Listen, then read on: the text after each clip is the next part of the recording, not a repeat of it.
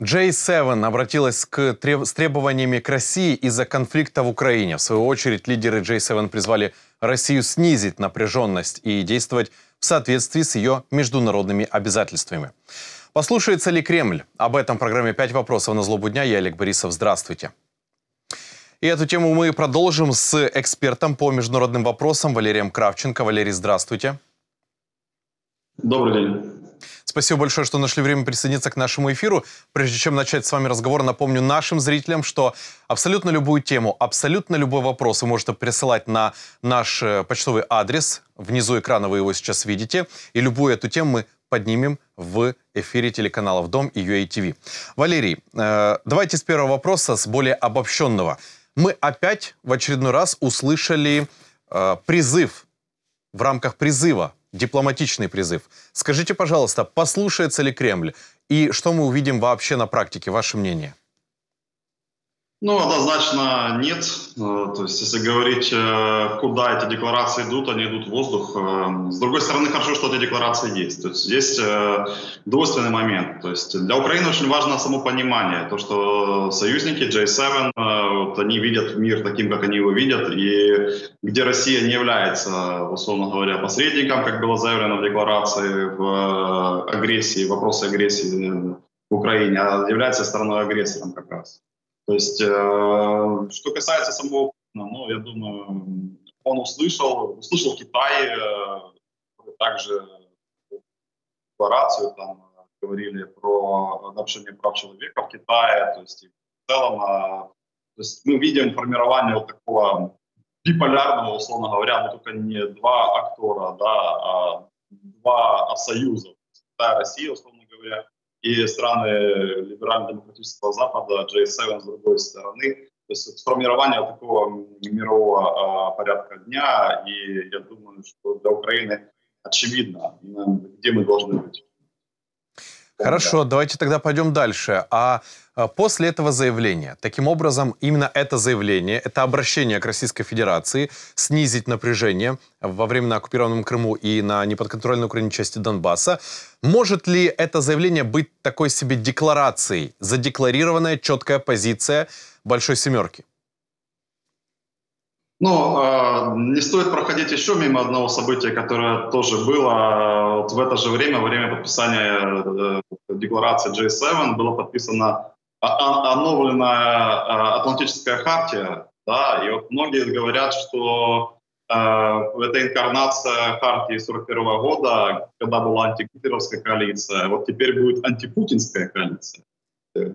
И, конечно, для нас это очень ценно. Если мы говорим про общий контекст понимания вот, э, природы гибридных угроз гибридной войны, ну, в частности, это очень ценно для наших союзников во Франции и Германии, которые являются сторонами нормандского формата, и где Россия очень активно ведет контрпропаганду и э, пытается убедить всех, что существует альтернативная реальность.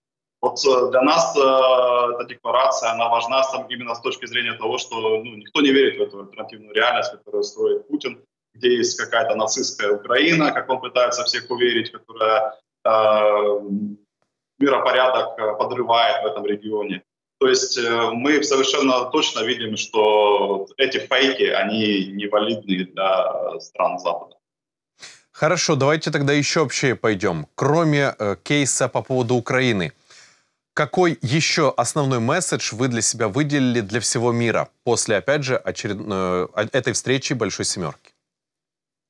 Не, ну очевидно тема ковида и борьбы с ковидом, и что не должно быть национальных суверенитетов с точки зрения борьбы с э, вирусом, и не только с этим вирусом, который сейчас, но и с вирусами, которые будут появляться в будущем. Очевидно, что э, Китай и Россия, то есть они используют э, эту агрессивную э, дипломатию вакцин, э, вспомним про спутник Ви, вспомним про китайские там, вакцины, там Синовак, которые делали в той же самой лаборатории, откуда произошел вирус в Ухане, э, которые, между прочим, активно использует Украина эту вакцину.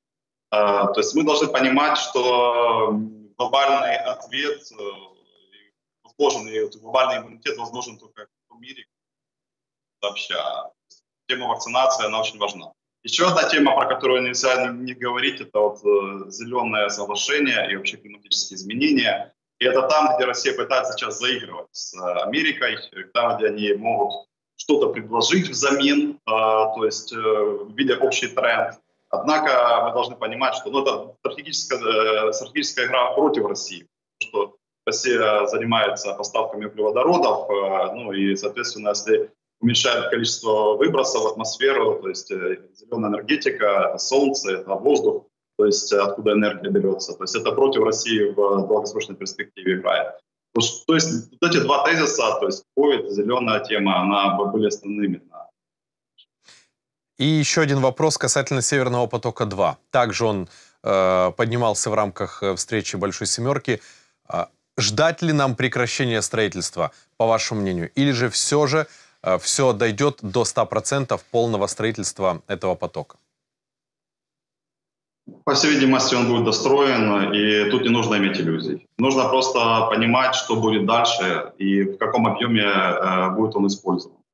Если он будет использоваться там, на 5-10%, условно говоря, своей мощности, и Э, та нефть, которая, допустим, добывается, или там тот газ, который, нефть мы говорим по Ямалу, да, там газ по Северному потоку, которая добывается в Арктике, то есть если мы будем поднимать цены, э, поднимая вопросы экологии, и в частности цена э, разрушения этой экологии в Арктике, то есть что, что делает Российская Федерация сейчас, делать какие-то штрафные санкции за использование вот этого всего, и таким образом чтобы добыча э, газа, нефти российской в Арктике она была нерентабельна. Мы таким образом будем э, бить по экономике России, по, по ее экспорту.